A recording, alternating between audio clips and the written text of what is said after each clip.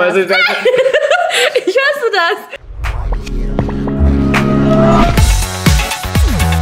Hi und herzlich willkommen auf Dynamites Live. Sag hallo. Ich habe schon mein Trikot an und bin schon bereit. Nicht nur für das Spiel, sondern ich muss jetzt auch Bonnie wieder zurück zu meinen Eltern bringen. Na Bonnie. Ja, ja.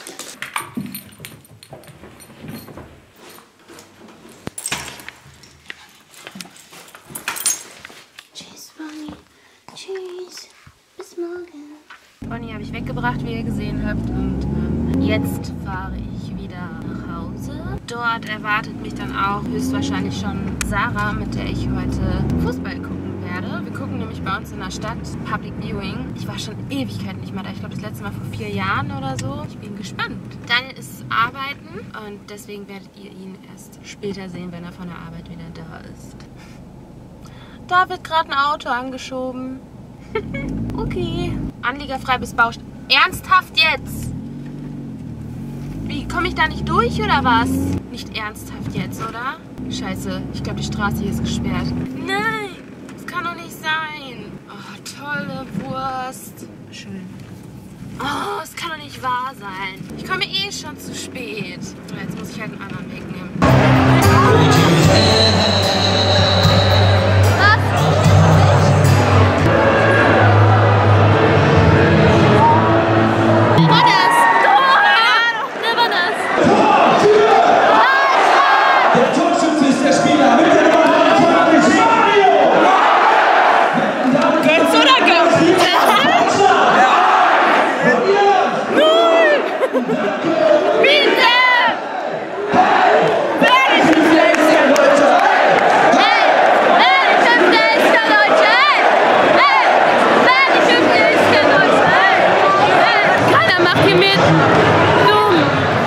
Leute, Sarah und ich haben beschlossen. Ey, ich weiß noch vor, wann war das? Vor vier Jahren oder so, ne? Ging hier mega die Party. Alle haben irgendwelche Songs gesungen und sind mega abgegangen. Davor und danach. Dabei. Wo müssen wir hin? Da. Zum Kassenautomat. Okay. Heute war einfach mal. Nix. Boah, Alter, Alter. Also erst ist die Stimmung voll für den Arsch, muss ich sagen. Wisst ihr? Und dann sind da diese Weiber, diese, die einfach gar keine Ahnung vom Fußball haben und einfach nur Public Viewing, also beim Public Viewing dabei sind, um dabei zu sein. Ja, machen die ganze Zeit Selfies, interessieren sich kein Stück für Spiel, aber Hauptsache geschminkt sein, wie, wie eine lebende Deutschlandfahne, ja, und sich überhaupt nicht für das Spiel interessieren. Und im Weg stehen. Ich hätte gerade fast den alle in den Nacken kotzen können.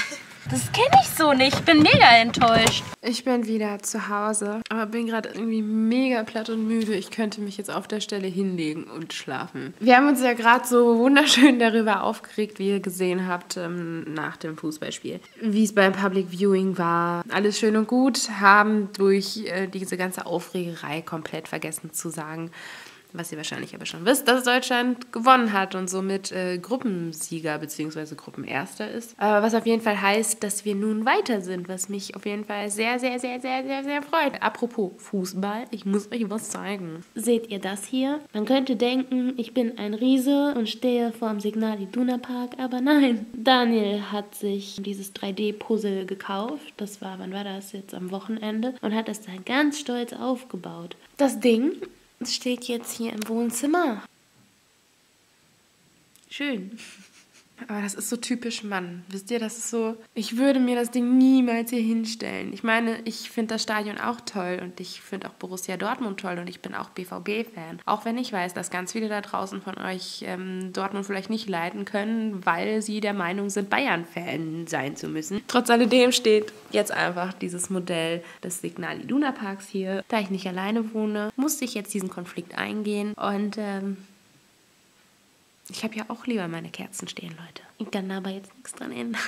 Wir haben jetzt auch schon 20 vor 10, das heißt, gleich hat Daniel Feierabend und ich werde jetzt, erst jetzt, ja, etwas hier im Haushalt tun können. Nichts Großartiges, aber ich werde jetzt ein bisschen aufräumen und klar Schiff machen, damit, wenn Daniel zu Hause ist, er sich nicht denkt, boah, was ist denn hier los?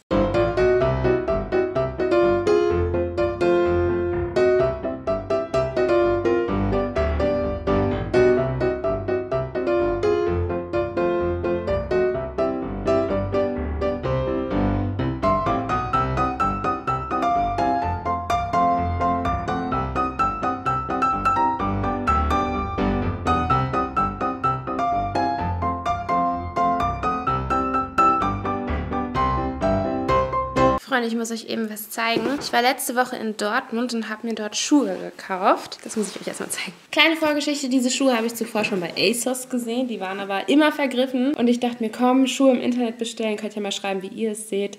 Finde ich, ist immer sehr schwierig, wenn man sie vorher nicht im Laden anprobiert hat. Ich habe mir jetzt neue Nikes geholt. Und dann ist kein Placement, auch wenn der Name hier mega fett im Bilde ist. Nein. Das sind Nike Tia. Und zwar die weiß-schwarzen, die sind so schön. Guckt euch diesen wundervollen Schuh an. Wundervoll, oder? Den gibt es eigentlich auch bei ASOS, aber der ist andauernd vergriffen. Und wo habe ich den jetzt noch mal her? Sidestep. Warte, ich, ich muss den einmal anziehen. Das Ding ist, ich hätte die Schuhe jetzt schon mega gerne an, aber ihr wisst ja selber, wie das Wetter ist. Ich habe keine Lust, wenn es regnet, mit diesen Schuhen rauszugehen, weil das sind echt tatsächlich nur Schuhe, die man anziehen kann, wenn gutes Wetter ist. Aber ich meine, irgendwann, ihr kennt es selber, bei neuen Schuhen ist man eh immer so mega vorsichtig und dann denkt man sich irgendwann nach, komm, scheiß drauf. Ich ziehe jetzt auch erstmal nur einen Schuh an.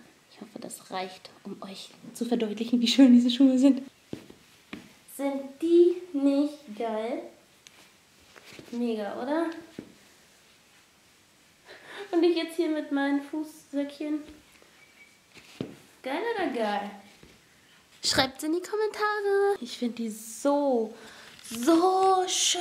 Die machen so einen schönen Fuß. Daniel ist bereits da. Er ist aber jetzt schon duschen gegangen. Das Essen ist gerade dabei zu brutzeln. Und ich weiß nicht, ob ich es gerade eben schon mal erwähnt hatte. Daniel hatte mich nämlich gefragt, wie denn das Spiel gewesen sei. Dann habe ich ihm das halt erzählt, dass... Ähm, Deutschland hätte eigentlich noch viel, viel mehr Tore schießen müssen. Die Deutschen waren auf jeden Fall die stärkere Mannschaft, das ist ganz klar, aber dafür, die hatten viel zu viele Torchancen, aber haben halt nur eine genutzt. Ja, jedenfalls habe ich Ihnen das erzählt mit der Stimmung, wie das ist. Und ich finde es einfach nur mega traurig, weil ich habe gerade noch mal überlegt, wie es vor vier Jahren war zur EM, als Sarah und ich in der Stadt immer regelmäßig geguckt hatten. Es ist einfach traurig.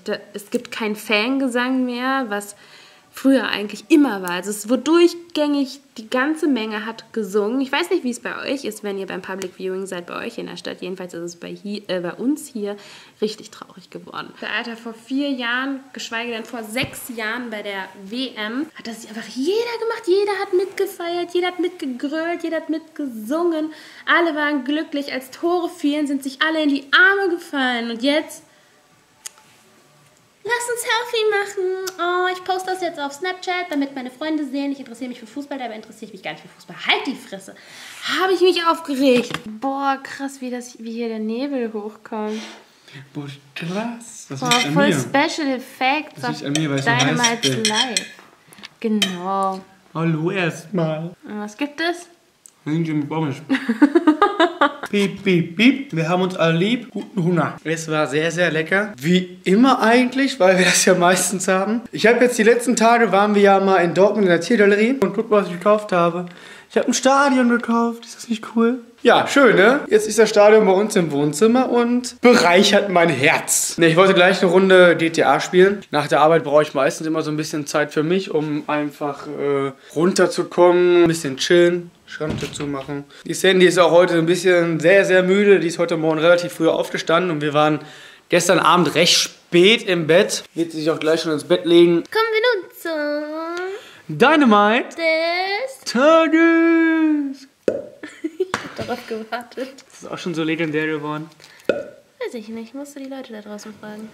Wartet ihr auch immer auf mein beim Dynamite des Tages? Schreibt es mir in die Kommentare, ich würde mich freuen. Der heutige Dynamite des Tages ist Beauty Pie. Boah.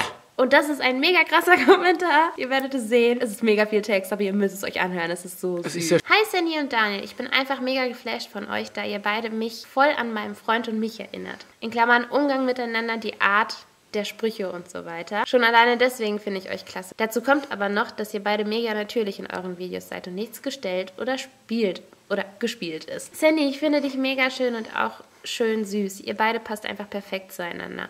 Um auf die Frage zurückzukommen, ich habe selber ein Tattoo an den Rippen mit Farbe. Allerdings möchte ich noch am Oberschenkel einen Wolf stechen lassen, an der Innenseite des rechten Oberarms ein Zitat, am linken Oberschenkel zwei La Catrinas, Mann und Frau, für meine Großeltern an der Außenseite des linken Unterarms ein Unendlichkeitszeichen mit einer Hummel drin und am linken Handgelenk ein Herz mit dem Muster meines Fingerabdruckes. Das nenne ich Masterplan. Ich habe allerdings auch eine Frage an euch. Wie ist das denn, wenn ihr miteinander streitet? Diskutiert ihr eher in Ruhe oder flippt ihr auch mal aus, dass es auch mal lauter wird? Ich würde mich riesig freuen, Dynamite des Tages zu werden. Für euch sind die Benachrichtigungen bei eurem Kanal an, ist auch der einzige. Und ich Uh. freue mich auf jedes neue Video von euch. Lasst es euch gut gehen, haltet die Ohren steif und ganz liebe Grüße an euch. Dankeschön, liebe Beauty Pie. Das ist aber ein echt langer und vor allem sehr, sehr netter Langer Kommentar. und schöner Kommentar. Ja. wie ist das denn so, wenn wir uns mal streiten? Es kommt ganz drauf an. Komm, wir sind ehrlich, okay? Ja, sind wir, Wir aber. sind trotzdem ehrlich. Nein, also, Also bei uns fliehen auch schon mal, wenn wir uns streiten, ganz gut mal die Fetzen. es ist auch nicht gerade ruhig. Ja, genau. Wir streiten uns auch schon mal ruhig ein bisschen an. Vor allem der eine versucht dann lauter zu sein als der andere. Vor allem, wenn der andere nämlich gerade am Erzählen ist und dann der andere ihm ins Wort fällt. Ja, da kriege ich auch immer ganz besonders, ganz persönlichen Wutrausch. Ja, ich auch. Ja, ich auch. Wir streiten uns zunächst, das auch sehr laut. Danach trennen sich unsere. Nein, wir trennen uns nicht. Oh Gott.